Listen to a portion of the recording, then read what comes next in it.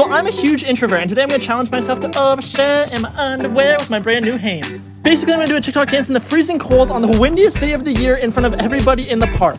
I literally ended up choosing the busiest day where people were literally everywhere. So I had to get down into the underwear. And the first time I tried doing the dance, I literally forgot it. But the second time, I absolutely nailed it, and everyone in the dog park started watching. Now I'm challenging